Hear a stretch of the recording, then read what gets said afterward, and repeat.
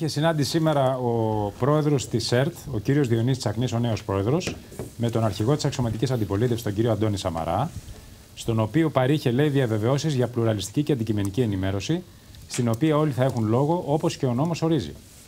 Σε δηλώσεις του μετά τη συνάντηση, η οποία κράτησε φίλες και φίλοι περίπου 50 λεπτά, ο κύριος Τσακνής ανέφερε ότι στο πλαίσιο των επισκέψεών του με όλους τους πολιτικούς αρχηγούς, μετά τη συνάντησή του με την πρόεδρο της Βουλής, την κυρία Ζωή Κωνσταντοπούλου, είδε σήμερα τον κύριο Σαμαρά και είχαν μια καλή και δημιουργική, όπως είπε, συζήτηση, κατά τη διάρκεια της οποίας στέθηκαν θέματα τα οποία αφορούσαν στη λειτουργία της ΕΡΤ. Να μην ανησυχεί ο πρόεδρος της αξιωματική αντιπολίτευσης, ο αρχηγός. Θα προσπαθήσουν να έχουν οι καινούργοι εκεί άνθρωποι που έχουν πάει στο ραδιομέγαρο καλό δελτίο, καλές εκπομπές, αντικειμενικές κλπ. Το θέμα είναι τη ζήτηση ο κύριος Σαμαράς. Το θέμα είναι τη ζήτηση ο κύριος Σαμαράς. Ο οποίος έκλεισε την ΕΡΤ, φίλες και φίλοι. Έκλεισε την ΕΡΤ. Παρ' όλα αυτά, ο Τσακνής και μπράβο του, δεύτερη μέρα λειτουργίας τη ΕΡΤ, πήγε στη Συγκρού και είδε τον κύριο Σαμαρά. Είναι... Αν, αν και φαντάζει ιδανικό, συγγνώμη, το καλύτερο που μπορεί να γίνει οι δημοσιογράφοι να αναλάβουν και αυτοί τις ευθύνες τους και να έχουν δελτίο ειδήσεων αυτό που πρέπει και δείχνουν τα παιδιά ότι θα προσπαθήσουν. Έτσι νομίζω και εγώ. Παρακολούθησα. Τα υπόλοιπα τώρα. Πάντα οι κυβερνήσεις πάντα οι κυβερνήσεις θα πιέζουν και πάντα και όλοι θα λένε 60, 30, 40% κτλ. Τώρα θα έχουμε ξαναζήσει την άσχημα. Είναι κερδοφόρο. Ναι. Αυτό μην το λέμε. Τώρα δεν χρειάζεται. Φίλες και φίλοι, η ελληνική κυβέρνηση διαπραγματεύεται για μια ενιαία συμφωνία που θα περιλαμβάνει ενιαία προαπαιτούμενα και έχει καταθέσει την πρότασή της που συμπυκνώνεται σε τέσσερα σημεία. Χαμηλά πρωτογενή πλεονάσματα, κυρίως φέτος και το 16, ώστε να διασπαστεί ο μηχανισμός αναπαραγωγής της λιτότητας. Δύο, καμία νέα περικοπή σε μισθούς και συντάξεις, σε μέτρα δηλαδή που θα εντείνουν την κοινωνική ανισότητα και θα ξαναφέρουν την οικονομία στο σπιράλ της ύφεσης. Τρία, αναδιάρθρωση του δημοσίου χρέους. Και τέσσερα, ισχυρό πρόγραμμα επενδύσεων, αναπτυξιακό πακέτο. Αυτά είναι Εκεί δίνει τη μάχη ο Τσίπρας και θα δούμε τι Αν θα καταφέρει. Εμίλιε, το την προηγούμενη Παρασκευή ο Πρωθυπουργός στη Βουλή αυτά τα ακριβώς ανέφερε ως πυλώνες της διαπραγμάτευσης. Αυτά διεκδικεί η Ελλάδα συν άλλα δύο και μας ζητούν ως αντάλλαγμα να τους δώσουμε το ΕΚΑΣ και την ε, ε, και τι άλλο μας ζητάνε να. Τη ΔΕΗ. Την ενόχληση. Αυτό δεν με τη ΔΕΗ. Έχει την ΦΠΑ. να τη δώσουμε η κυρία Σπυράκη. Περίεργη η ομολογία. Ακούστε λοιπόν. Ένα-ένα δεν ακούμαστε. Να σας πω κάτι για τη ΔΕΗ. Επειδή είμαι στην Επιτροπή στο τμήμα Ενέργεια του ΣΥΡΙΖΑ, μας είχε δώσει λοιπόν εντολή ο Υπουργός ο Λαφαζάνης να βρούμε τρόπους προκειμένου να μειώσουμε το κόστος του ρεύματος τόσο για την οικογένεια όσο και για τις βιομηχανίες. Ενώ κάναμε αυτό το αυτό το σχέδιο και το έχουμε υποβάλει ήδη στον Υπουργό, ξαφνικά πετάγεται το φασούλι ότι έρχεται δηλαδή η Κομισιόν να θυμηθεί ότι ο ΦΠΑ στη ΔΕΗ πρέπει να πάει 25%. Λες και ξέρουν τι κουβεντιάζουμε δηλαδή και την άλλη μέρα το πετάνε σαν ζητούμενο από, από θεσμικές κουβέντες. Είναι δυνατόν. Σήμερα όμως περάσαμε Πάμε την, να δούμε το πρωτοσέλιδο. του δικού φόρου κατανάλωσης είναι σημαντικό στο φυσικό αέριο το οποίο χρησιμοποιείται στη βιομηχανία. Στο φορολογικό. Πάμε να δούμε τι γίνεται. Το πρωτοσέλιδο της Κόντρα News. Παρακαλώ. Να κάποιος για ποιο λόγο η ενόχληση ότι έχασε αξία το ευρώ. Εγώ θα χαιρόμουν. Ιδιαίτερο. Ιδιαίτατα δηλαδή. Δεν είπα, δεν είπα για το. το ζήτημα είναι ποιος το λέει και γιατί το λέει. Ο, ο, ο Κρίσπα στην Αμερική, όταν έχανε το δολάριο, έναντι του. Έτσι. Χαμογελούσε σαρδονίως. Έτσι, και, ε, δεν λέει... έβγαινε ο κύριος Γκρίσπα να πει θέλω το δολάριο. Ε, Αφήστε με να δείξω το πρωτοσέλιδο της Κόντρα News που θα βρείτε αύριο φίλες και φίλοι στα περίπτερα. Στα χέρια των τοκογλύφων. Οι δεν μας συμφέρει, έχουν πολύ ακριβό. Δεν το λες έτσι όμως. Στα χέρια των τοκογλύφων βρίσκεται η απασφαλισμένη χειροβομβίδα. Ο Αλέξης βαράει το ζουρνά και οι δανειστές χορεύουν πεντοζάλι. Τρέχουν όλοι οι Ευρωπαίοι και δεν φτάνουν και τρέμουν από αγωνία γιατί κανένας τους δεν ξέρει πόσο μπορεί να στοιχήσει στην παγκόσμια οικονομία. Η έξοδός μας από το ευρώ είναι το βασικό θέμα της κόντρα νιου του Σαββάτου. Σας αναγνωρίζω ότι έχετε μεγάλο χιούμορ. Καταργούνται 10 φορολογικές αδικίες για ανέργους νοικοκυρές, φοιτητές, αγρότες και ομογενείς του εσωτερικού. Του εξωτερικού, με συγχωρείτε. Εγγυημένες τον Ιούνιο οι συντάξεις, λέει ο νέος διοικητής του ΙΚΑ, ο κύριος Θεονά. Η Ουκρανία απειλεί ότι θα σταματήσει να πληρώνει το εξωτερικό τη χρέος. Πάνω από 6.000 αιτήσεις για τα προγράμματα της αγροτικής αιστείας. Έφαγε δύο Αλέξει και πάει και τον τρίτο. Ο Πρωθυπουργός μέχρι τώρα έχει καθαρίσει το δούνου του και το Σόιμπλε. Όλοι, όλοι αναρωτούνται πλέον ποιος άλλος θα έχει σειρά. Το άρθρο, του Γιώργου, δηλαδή. το άρθρο του Γιώργου Κουρί με τίτλο Κόντρα σε όλα με πενταροδεκάρες οι ξένοι κατέστρεψαν τους αγρότες, τους κτηνοτρόφους και τους ψαράδες μας Από τότε που μπήκαμε στην Ευρωπαϊκή Ένωση εδώ και 35 χρόνια, οι ξένοι μας την είχαν στημένη. Στην αρχή άρχισαν να μας καλοπιάνουν δίνοντάς μας κάποιες ψώρο επιδοτήσεις. Έδιναν επιδοτήσεις στους αμπελουργούς μας, αλλά τους έλεγαν θα πάρετε τα λεφτά, αφού όμως προηγουμένως ξεζώστε τα μπέλια σας. Ένα πολύ ενδιαφέρον άρθρο, γιατί αγαπάει πολύ τον αγροτικό κόσμο και τη γη ο Γιώργος Οκουρής. Θα το διαβάσετε το πρωί με την Contra News. Και κύριε Λιάτσο, μια είδηση τη Δευτέρα ή την Τρίτη θα ανακοινωθεί η ρύθμιση ε, για όσους έχουν ληξιπρόθεσμες οφειλές στη ΔΕΗ. Είναι γύρω στα 2 δισεκατομμύρια και θα δοθούν ε, νομίζω 37 ε, δόσεις. Ο αριθμό δόσεων και δεν γίνεται. Μάλιστα. Κύριε Σομελίδη, κάτι θέλετε να πείτε; Ναι. Θέλετε να πείτε κάτι για να περάσουμε να δούμε, δείξουμε μια δημοσκόπηση στη συνέχεια για να τη σχολιάσουμε όλοι μαζί. Όχι, όχι, δείξτε δημοσκόπηση. Όχι, παρακαλώ, παρακαλώ, σας ακούμε. Ε, με αφορμή και αυτά που έλεγε προηγουμένως ο κ. Γαλανός, θέλω να πω ότι παρά το γεγονός ότι γίνεται μια πολύ μεγάλη συζήτηση και λένε όλοι ότι είναι τεχνικά τα θέματα και ότι πρέπει να γραφτούν σωστά όλα αυτά τα Excel και ότι δεν είναι πολιτική συζήτηση, mm-hmm. είπε και το Δούνου του, εν πάση περιπτώσει, πριν από 40-24 ώρες. Τελικώς όλες οι πιέσεις είναι για να μεταρρυθμιστεί όχι η χώρα και η οικονομία, αλλά ο Τσίπρας. Από το Σαμαρά μέχρι το Σούλτς και τώρα και ο Σαρκοζή που επανέρχεται σε αυτά που έκανε το 2011, όλοι θέλουν να μεταρρυθμιστεί ο Τσίπρας. Να αλλάξει κόμμα, να διώξει το μισό του κόμμα, ναι. να αλλάξει πολιτική, να φέρει τον κύριο Θοδωράκη. Ο κύριος Σαμαράς είναι αγαπητός γιατί το 2011, τον Οκτώβριο του 2011, ο κύριος Σαρκοζή τον έβριζε το Σαμαρά. Μετά τον Νοέμβριο του 2011, που ο Σαμαράς δέχτηκε η χώρα να μην πάει σε εκλογές και να μην κάνει δημοψηφίσματα η, η και όλα αυτά. Που θα πάθαινε, η ζημία που θα πάθαινε από τον κύριο Σαρκοζή η Ελλάδα δεν έγινε γνωστή εδώ στην Ελλάδα. Βέβαια, τώρα κύριε Γεωργίου, ένα-ένα για να μην Ο κύριο Σαρκοζή και η Γαλλία την πληρώνουμε ίσως περισσότερο και από τη Γερμανία. Ήρθες τώρα στην Ευρωβουλή, ήμουν τότε Ευρωβουλευτής, ήρθες στην Ευρωβουλή και μας είπε ότι ήθελε να φτιάξει μια Ευρώπη η οποία να εκτείνεται και μέχρι τα βόρεια της Αφρικής. Και επομένως. Και τον, τον συνείδησα στην διάσκεψη των Προέδρων. Ήμουν αντιπρόεδρος εγώ του κόμματος του, του σχηματισμού μου και του είπα: Τι είναι αυτό που κάνετε; Τι είναι, αυτό, τι είναι αυτό που κάνετε; δηλαδή, ό,τι προϊόντα έχει η Ελλάδα, ε, τουλάχιστον ο αγροτικός κόσμος, θα πεθάνει στην Ελλάδα. Διότι είναι ένας ένας Έλλην εργαζόμενος κοστίζει 5,5 Αιγυπτίους. Μάλιστα. Άρα και... πού θα βγει το δικό μας το βαμπάκι δηλαδή και πού ναι, θα ναι, βγει ναι. Το, και... το δικό μας το λάδι και πού, πού θα βγει ο δικός μας καπνός εάν υποτεθεί ότι οι χώρες της Βορείου Αφρικής όπως είναι η Αλγερία, η Τινησία και το Μαρόκο και πάρουν με τιμές και... τέτοιες, με, με, με, εργατικό κόστος τόσο. Και σε σχέση με αυτό το οποίο ε, είπαμε προηγουμένως, ε, πρέπει να δούμε και το εσωτερικό ζήτημα. Γιατί στις 25 του Ιανουαρίου αυτό που άλλαξε είναι και μια ισορροπία σε ό,τι αφορά την εσωτερική εξουσία. Και γι' αυτό το εμφυλιακό κλίμα το οποίο καλλιεργείται τις τελευταίες μέρες και για να είμαστε δίκαιοι ε, ρίχνουν Ελλάδα στη φωτιά και ορισμένα από τα στελέχη τα κυβερνητικά με ακραίες εκφράσεις και κακούς χαρακτηρισμούς. Αυτό το εμφυλιακό κλίμα αν μεταφερθεί στην κοινωνία και εκφράσεις οι οποίες θυμίζουν παλιότερες εποχές δεν θα μας οδηγήσει πουθενά. Όχι μόνο συνένεση δεν θα υπάρξει όπως και αν χρειαστεί, αλλά θα υπάρξει ένας ακόμα πολύ μεγάλος εσωτερικός πόλεμος και αυτό είναι εξαιρετικά αρνητικό. Σε ό,τι αφορά τις μεταρρυθμίσεις, ναι, ας πούμε τη δημοσκόπηση και μετά θα μιλήσουμε. Λοιπόν, πριν Γιατί πούμε τη δημοσκόπηση, θέλω Πραγματικά να το θέμα δεν είναι να μεταρρυθμιστεί ο Τσίπρας, αλλά ότι πρέπει να μεταρρυθμιστεί η ελληνική οικονομία και, ναι, Σπύρο, και το δεν σχολιάζει όμως το εξής. Τη σημερινή στάση του Σαμαρά, του Βενιζέλου και του Θεοδωράκη ναι. που, ζητάνε, που ζητάνε από τον Τζίπρα αυτοί οι τρεις κύριοι να πάει προσκυνημένε Βρυξέλλες. Διότι αυτό είναι το θέμα της ημέρας. Το θέμα ναι. της ημέρας, φίλε φίλες και φίλοι, είναι ότι ο Σαμαράς, ο Βενιζέλος και ο Θοδωράκης του λένε πήγαινε και προσκύνησε τις Βρυξέλλες του Τσίπρα. Αυτό λένε. Δηλαδή, αυτό λένε. Εσείς που κάνετε πλάκα στον κόσμο με το εξώφυλλο αυτό, τι του λέτε; Είδατε εσείς να χορεύουμε το ζάλι. Μας έχουν ξεσκίσει και εσείς βλέπετε να χορεύουμε το ζάλι. Η οικονομία καταραίει, η ύφεση βαθαίνει χωρίς ηφαισιακά μέτρα. Το μπορεί ο κύριος Γάλλονο με όλες αυτές τις ανοησίε που έχουν γίνει πέντε μήνες, με μια διαπραγμάτευση που δεν είναι διαπραγμάτευση που απευθύνεται στο εσωτερικό της χώρας και μόνον και νομίζουν ότι η Ευρώπη ότι είναι αμφιθέατρος στα, ξέρω εγώ, στα πλατεία, στα εξάρχεια. Πάντως, πάντως αναδείχθηκαν δηλαδή, οι διαφωνίες αυτοί χορεύουν πετοζάλι μεταξύ των δανειστών. Ή εμείς χορεύουμε το χώρο του Ζαλόγκου. Ωραία. Άμα λαός αυτό αν, Ξέρετε γιατί το είπα αγαπητέ κύριε Κρανιδιώτη; Διότι είναι ακριβώς το ίδιο, στο ίδιο κλίμα φίλες και φίλοι οι Βρυξέλλες με τους τρεις πολιτικούς αρχηγούς που προανέφερα. Είναι ακριβώς το ίδιο κλίμα. Αυτός που θα κάνει τη χώρα να προσκυνήσει είναι αυτός που θα τη φέρει στο χείλος του κορμού και θα τη σπρώξει με την αμετροέπεια αν θέλετε με την έλλειψη σχεδίου. Η χώρα ήταν προσκυνημένη πριν τον Τσίπρα. Έτσι, δεν ήταν η χώρα ήταν προσκυνημένη πριν τον Τσίπρα. Τι είπε προηγουμένως, εγγυάται λέει τη συντάξη του Ιουνίου. Τι λες, ρε μεγάλε. Σοβαρά.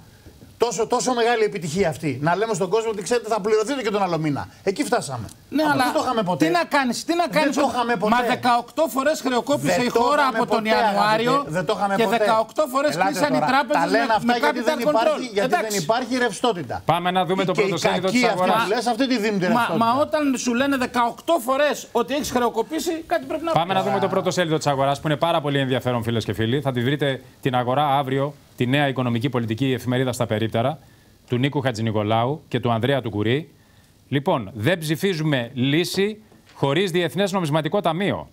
Ο αντιπρόεδρος της Μέρκελ στην αγορά κάνει αυτή τη δήλωση ότι δεν ψηφίζουμε λύση χωρίς Δουνουτού. Βλέπετε ότι ο εκβιασμός είναι συνεχής, φίλες και φίλοι, αμήλικτος ο εκβιασμός φόβος, φόβος. των, εταίρων δυνασ- δι- των εταίρων δανειστών.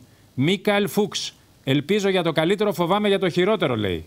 Και έχουμε και τον κύριο Άδωνη Γεωργιάδη, ο οποίος δίνει συνέντευξη στην αγορά και τι λέει.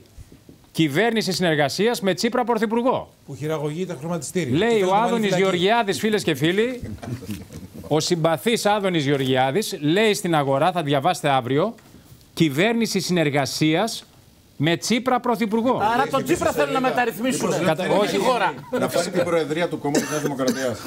Ξέρω εγώ τι λέει. Θα τη διαβάσω από τη συνέντευξη να καταλάβω τι λέει ο Άδωνης. Είσαι ακόμα μεγαλύτερος χιουμοριστής. Ε, μα τι να- Δηλαδή. Συνέντευξη, Κυκλοφορεί και αυτό. συνέντευξη του Γαβρίλ Σακελαρίδη.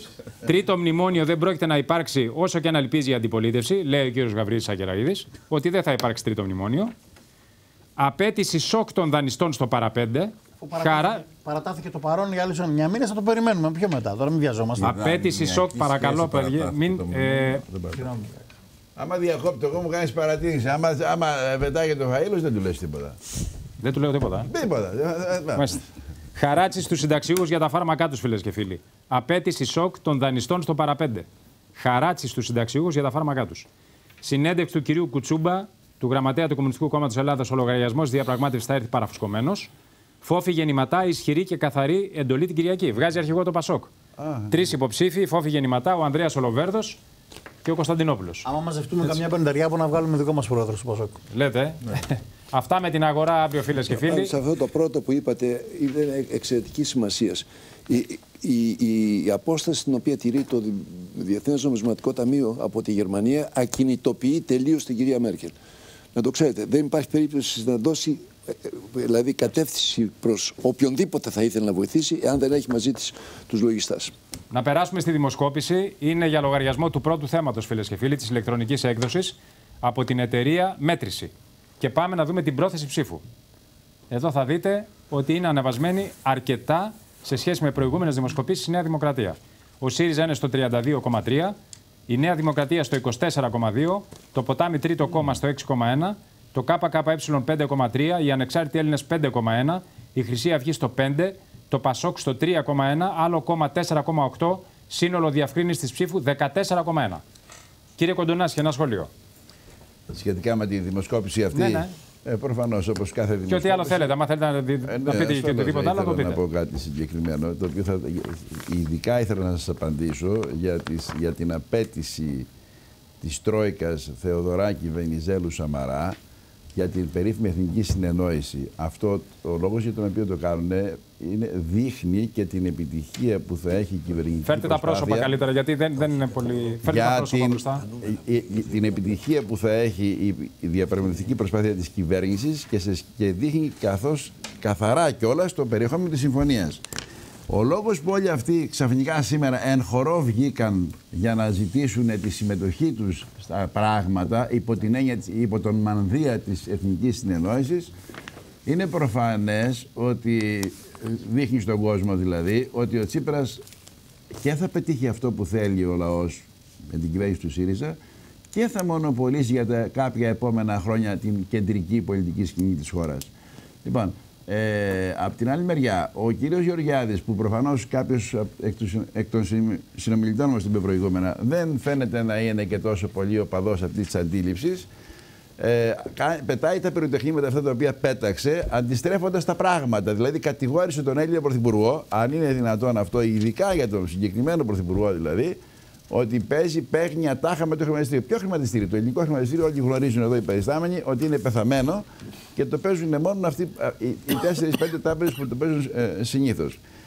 Αυτό ακριβώς που κάνει το Bloomberg σε διεθνές επίπεδο, προκειμένου δηλαδή να δημιουργήσει αυτή τη σπέκουλα και στην οποία έρχονται και άλλοι επίκουροι από κοντά, ο κύριος Γεωργιάδης το μετέφερε, προσπάθησε να το μεταφέρει και να το προσάψει στον Έλληνα Πρωθυπουργό. Είναι προφανής ο στόχος του και γιατί είναι και εντελώς δηλαδή αβάσιμη και συκοφαντική αυτή η κατάσταση. Σε ό,τι αφορά τη δημοσκόπηση αυτή. Το 24 της Νέας Δημοκρατίας. Το 24 της Νέας Δημοκρατίας, ακούστε λοιπόν. Σας τώρα. προβληματίζει και το 32,3 του ΣΥΡΙΖΑ; Όχι, όχι. Γιατί; Στην πραγματικότητα ε, στην ελληνική κοινωνία στην οποία ζούμε όλοι μας και όσοι ε, είμαστε στην καθημερινή βιοπάλεια σκόντα δικηγορία, δεν βλέπουμε πολύ κόσμο πάνω να πει αυτό από κάθε πολιτι... φάσμα της πολιτικής σκηνή. Είναι τέτοια η απήχηση που έχει η κυβέρνηση αυτή προς το, ε, μέσα στον ελληνικό λαό, ο οποίος πραγματικά στη μεγαλύτερη πλειοψηφία του την εμπιστεύεται και πραγματικά προσδοκά από την κυβέρνηση αυτή να του λύσει ένα πρόβλημα. Χαίρεται αυτός λέει ο λαός. Κυρίως χειροκροτεί την προσπάθεια των κυβερνητικών στελεχών να επιτύχουν το αποτέλεσμα και ίσως να μην στενοχωρηθεί και τόσο πολύ εάν δεν του φέρουν και το καλύτερο δυνατό. Α, γιατί αυτό που βλέπει σήμερα από την κυβέρνηση του ΣΥΡΙΖΑ επί τέσσερις μήνες δεν το έζησε επί πέντε χρόνια στα προηγούμενα. Και ακούμε μερικές φορές σε πολλά τραπέζια να εγκαλείται η κυβέρνηση αυτή γιατί δεν έχει υπογράψει, γιατί αργεί να υπογράψει. Μα πώς μπορεί να υπογράψει μια κυβέρνηση που, εκ, που θέλει να εκπροσωπήσει επάξει ένα λαό, να υπογράψει μια συμφωνία που θα βλάπτει το λαό της. Κύριε Κρανιδιώτη, ένα σχόλιο. Λοιπόν, κοιτάξτε. Ε, ο Ανεβαίνει η κύριος- Νέα Δημοκρατία. Ναι, κοιτάξτε να σου πω. Ε, Ήμασταν πριν μια Άρα εβδομάδα- να κρατήσετε τον Αντώνη τον ήμασταν- Σαμάρα, τον κρατήστε ήμασταν, εσαΐ να τον ε, κρατήσατε. Ε, θέλετε να αποφασίσετε εσείς τι θα κάνουμε. Όχι, προτείνω ήμασταν εγώ, να μην πριν πω την μια άποψή μου εβδομάδα εγώ. εδώ. Ήμασταν πριν μια εβδομάδα εδώ. Ναι. Θα, θα πρέπει να κάνετε υπομονή γιατί θα τον ανεχτείτε για πάρα πολύ καιρό ακόμα. Λοιπόν, ήμασταν πριν μια εβδομάδα εδώ και βλέπουμε εκείνες ωραίες δημοσκοπήσει με το 45% που δίνουν τα προπολιτικά, 15% τη Νέα Δημοκρατία.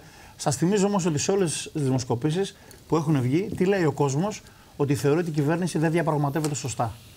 Θε- Και ο κόσμος θέλει συμφωνία. Τώρα θα δούμε και τις- τις αυτό, επόμενες λοιπόν, κάρτες. αυτό λοιπόν που βλέπουμε τώρα να γίνεται σιγά σιγά είναι να, να συρρυκνώνεται συνεχώς η διαφορά, διότι όσο μεγαλώνει η αγωνία του κόσμου και βλέπει να χειροτερεύουν τα πάντα, διότι δεν ξέρω, φα- μάλλον εγώ ζω σε άλλη κοινωνία από τον κύριο Κοντονάσιο και ε, συναναστρέφω με άλλους ανθρώπους, γιατί εγώ αυτό το οποίο προσλαμβάνω είναι μια πολύ μεγάλη ανησυχία.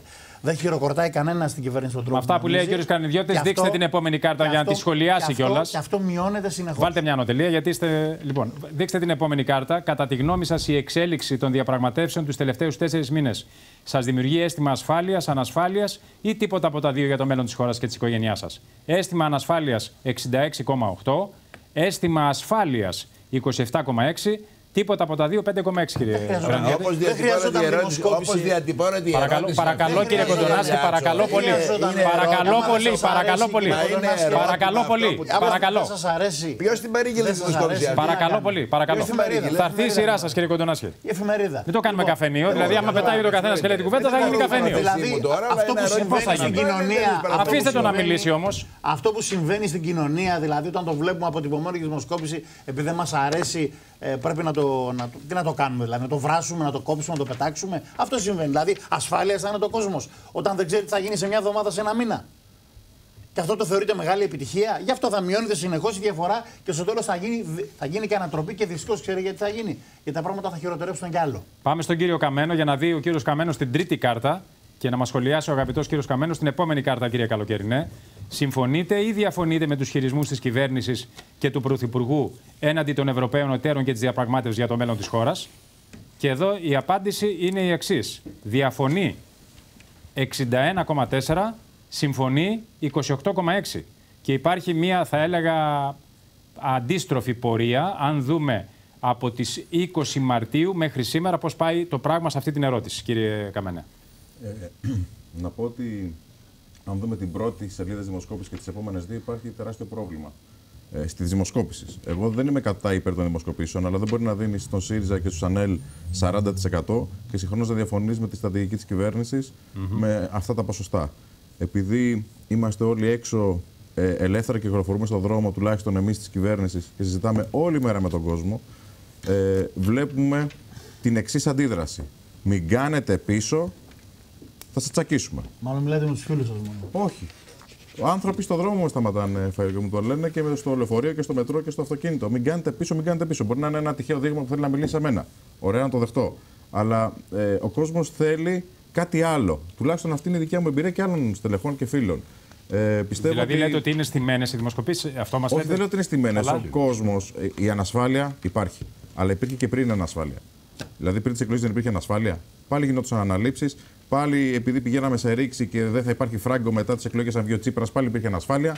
Ε, λοιπόν, ε, πάντα υπήρχε ανασφάλεια. Με το μνημόνιο δεν υπήρχε ανασφάλεια. Με 1,5 εκατομμύριο, 2 εκατομμύρια ανέργους, ποια ήταν η ασφάλεια; Ποιος αισθανόταν ασφάλεια; Ε, μόνο ασφάλεια, για- η μόνο για την ΕΡΤ σταθερότητα. πανηγυρίζετε. Κοιτάξτε, η σταθερότητα Και τον που εκατομμύριο επικαλεί ανέργους του Δυτικού ο Τομέα δεν κύριος μιλάγανε. Σαμαράς και οι φίλοι του στην Ευρώπη και ο κύριος Βενιζέλος ήταν σταθερά περισσότερη Ευρώπη, σταθερά λιγότερη Ελλάδα. Σταθερά θα κάνουμε και θα δια, μας διακυβερνούν με email, μέσω σερβερ και θα μας λένε κάντε αυτό, θα το κάνουμε και θα έχουμε μια σταθερότητα Εσείς τι κάνετε, για να έχουμε τα αυτό. στέλνετε με πουλάκια, Δεν τα γίνεται. ταχυδρομικά Δεν περιστέρια, τα γίνεται. στέλνετε. Μα δεν κάνουμε. Αυτά που απορρίπτουν συνέχεια. Δεν στέλνουμε ερωτικές επιστολές. Ε, Γι' α, αυτό- γι' αυτό μάλλον υπάρχει κάτι ρήξη. άλλο, ξέρεις, ξέρεις υπάρχουν υπάρχει κάποιους άλλους ρήξη. Είδους σχέσεις στις οποίες η πράξη γίνεται χωρίς να προηγηθούν και πολλά πολλά. έτσι. Ανεμογκάστρι. Λοιπόν, Τύπου. όχι, ξέρεις πολύ καλά, κατάλαβες τι λέω. Λοιπόν, εγώ θέλω να πω ότι γίνεται μια διαφορετικού είδους διαπραγμάτευση. Ο κόσμος το βλέπει, το ξέρει, στηρίζει, γι' αυτό δεν είναι τα ποσοστά. Γι' αυτό είναι φιλικός απέναντί μας. Ε, είναι εχθρικός, κακός και βίαιος. Είδα χθες και κάποιες σκηνές στοιχείο με τον κύριο Μηταράκη, ο οποίος είναι και καλό παιδί και τον γνώρισα τώρα στη Βουλή. Ε, είμαι ενάντια στη βία και σε όλο αυτό που γίνεται.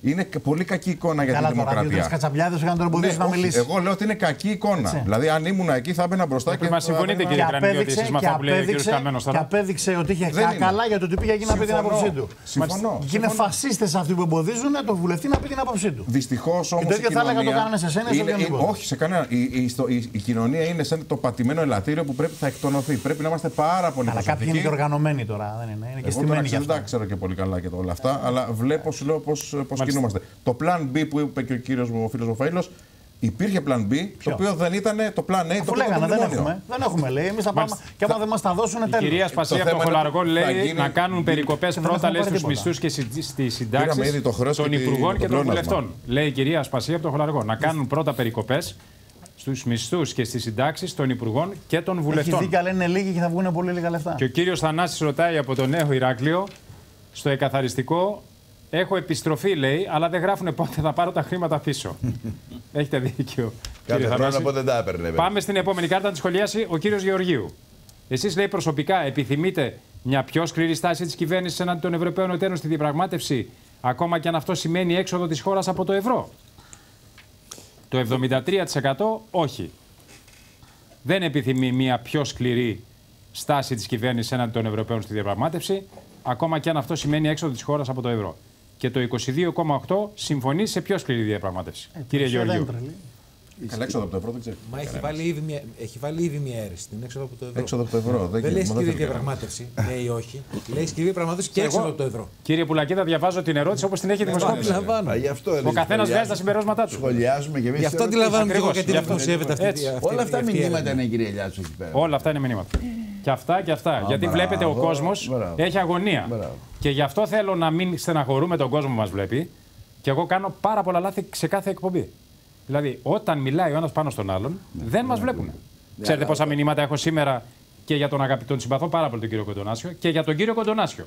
Που μου λένε δεν θέλω τα για να μην Για τον φανώ κύριο αγενής. Βενιζέλο δεν έχεις Και κανένα. για τον κύριο Κοντονάσιο μου Εγώ λέτε, μιλάω πάνω σου. μου λέτε πολύ, πείτε του να μην διακόπτει τους συνομιλητές. Ορίστε, τώρα μου αναγκάσατε και το διάβασα. δεν ήθελα να το πω. Γιατί να μην το πει; Εν πάση περιπτώσει, κύριε Γεωργίου, σας διέκοψα, ζητώ συγγνώμη. Παρακαλώ. Γνωστός παλιό χαρακτήρας. Δεν με διακόψετε. Ξέχασα, ξέχασα αυτό που θέλατε να ακούσετε. Δεν ξέρω τι ρωτήσατε.